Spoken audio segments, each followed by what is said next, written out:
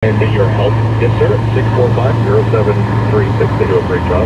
My son Greg, who's um, I'm very proud of, the marketing, photography, and so much more. And again, you can reach me anytime through 765-483. We are out of time. See you next Sunday on News Radio 840 WHAS. Portions of the following program will be recorded. News Radio 840 WHAS.